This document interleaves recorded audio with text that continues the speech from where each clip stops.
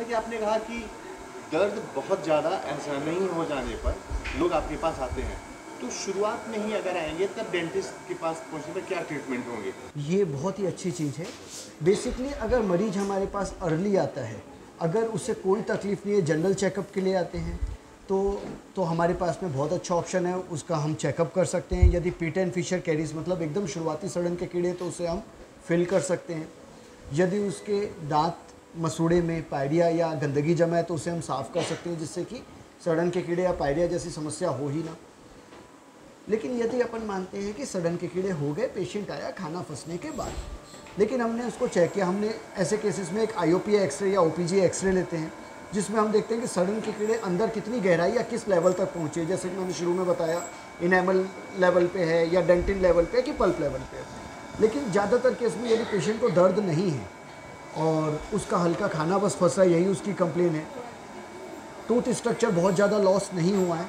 तो इनेमल या डेंटिन के लेवल पे सड़न के कीड़े रहते हैं। तो उस समय हम लोग, जो सड़न के कीड़े हैं, उसको एयर रोटर की मदद से एक एक इंस्ट्रूमेंट होता है एयर रोटर की मदद से उसको निकालते हैं क्लीन करते हैं। और एक आर्टिफिशियल टूथ मटेरियल जैसे कि G I C glass ionomer cement है, जिसे हम डेंटल सीमेंट्स कहते हैं, या कंपोजिट्स है, इससे हम उसको फिल कर देते हैं। ज़्यादातर केसेस में इसे हमें कोई दवाई देने की भी आवश्यकता नहीं होती क्योंकि इन्फेक्शन अभी तक ब्लड वेसल या नसों तक नहीं पहुँचा है। तो मोस्ट ऑफ़ द केस में यदि हम फीलिंग करते हैं तो पेशेंट को इवन दवाई देने की भी ज़रूरत नहीं है। ये डेंटिस्ट्री का सबसे छोटा और सबसे इंपॉर्टेंट और अच्छे रिज़ल्ट वाला ट्रीटमेंट है। जनरली मेडिकल फ़ील्ड में ये माना जाता है कि जितना छोटा ट्रीटमेंट है रिज़ल्ट उतने अच्छे होंगे।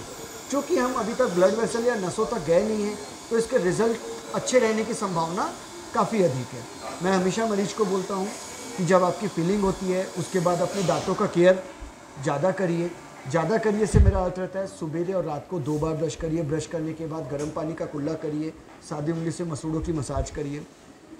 खाना जब भी हम खाते हैं, हमारे में एक पुरानी कहावत थी कि हम झूठे मुँह बाहर नहीं निकलते थे। अगर हम एक जनरल अपने कल्चर को देखते हैं तो हम कभी भी झूठे मुँह नहीं निकलते थे। हमारे जब हम छोटे थे, हमारे समय में पैकेट फ़ूड नहीं थे। खाने का अर्थ होता था, घर में बैठ के थाली में खाना खाना। लेकिन आज की जो जनरेशन है पैकेट फ़ूड है रैपर्स है। तो चलते फिरते भी आप खाना खा रहे हैं और जो चिपका हुआ खाना है, वो आपके मुँह में चला आ रहा है। तो डेफिनेटली खाना बैक्टीरिया डेवलप करेगा। उस चिपके हुए खाने पे जो बैक्टीरिया डेवलप करेंगे, वो आपको इन्फेक्शन करेंगे। तो हम पेशेंट को एडवाइस करते हैं, जब भी आप कुछ खाना खाएँ खाना खाने के बाद चड़ू ज़रूर लें। चड़ू लेने का अर्थ होता है, एक घुट पानी लेके कुल्ला कर लीजिए या उस पानी को स्विश करके सोलो कर लीजिए।